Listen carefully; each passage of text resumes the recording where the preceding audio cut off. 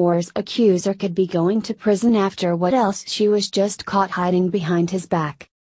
Washington, D.C. has long had a reputation for being rife with sex scandals, but this year they seem to be rivaling Hollywood with their dedication to sullying the reputation of almost every office in the city with some sordid affair.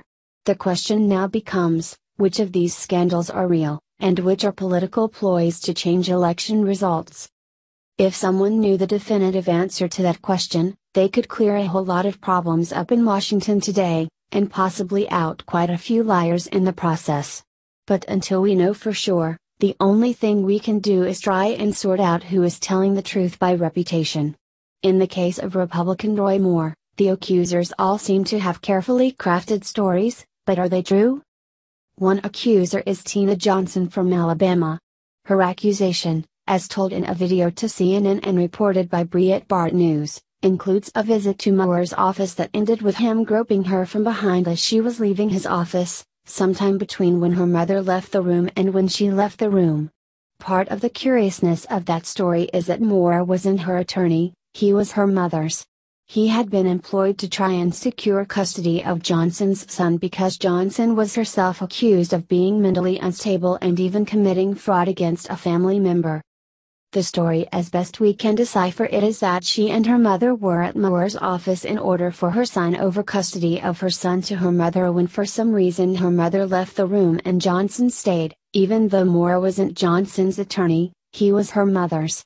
According to Moore and his receptionist, who was just feet away, this story is completely fabricated, but Johnson is sticking to it.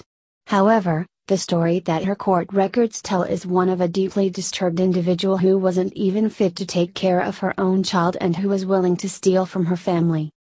Here's more from our source about the details of the encounter. Birmingham, Alabama, court documents related to Tina Johnson, an Alabama woman who claims that Republican senatorial candidate Roy Moore groped her in his office decades ago, may raise questions about Johnson's motives in making the accusation. The documents, reviewed by Breitbart News, show that Moore represented Johnson's mother in a nasty custody case for Johnson's then 12 year old son, Daniel Sitz. In the case, Johnson was repeatedly painted by Moore's client as an unfit, absent, and unstable mother and was accused of taking her son from his elementary school against his will. Johnson's mother was ultimately awarded custody in the case.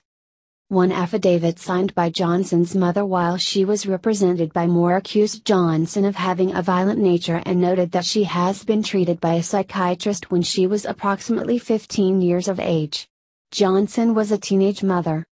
Separate criminal documents show that, as late as 2010, Johnson was arrested and pled guilty to felony fraud charges related to checks belonging to a family member. She also entered a court drug program. Speaking to AL.com, Johnson first went public with the claim that Moore groped her when she was on legal business with her mother in 1991. The website noted that Johnson reached out to AL.com to discuss her alleged experience with Moore. The website related that Johnson was at the office to sign over custody of her 12 year old son to her mother, with whom he'd been living. Johnson claimed that, after the two met with Moore, her mother walked out of the office door first and that, as Johnson was walking out, Moore grabbed her buttocks from behind. He didn't pinch it, he grabbed it, she claims. Johnson claims that she was so surprised by Moore's alleged actions that she didn't mention anything to her mother, even though Johnson described her mother as sitting next to her in Moore's office just before the alleged incident. Johnson's mother, Mary Catherine Cofield, had hired Moore, then a private attorney, to represent her in the custody case for Johnson's son, Daniel Sitz. The custody documents, filed by Moore, refer to Johnson by her married name at the time, Tina Sitz. Another document, signed by Moore, stated that Cofield, and not Johnson, was the most fit and proper person to have custody of Daniel Sitz. Johnson's son had resided with his grandmother, Cofield, since he was nine months old. Cofield says that, during those years, she provided Daniel with food, clothing, and shelter without any assistance from Johnson. A judge officially granted Cofield full custody on September 23, 1991. Criminal and court records reviewed by Breitbart News find that she was arrested on February 25, 2010, for the felony charge of criminal possession of a forged instrument and theft by deception. She spent one day in jail and was released on bond. The case revolved around the charges of intent to defraud, possess or utter checks in the amounts of $288, $129.96, $259.92, $300, and $170 respectively.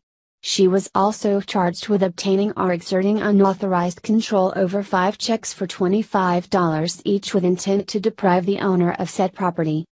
Those five checks were in the name of W.G. Cofield, ostensibly her late stepfather. Cofield personally appeared to file charges against Johnson, criminal records show.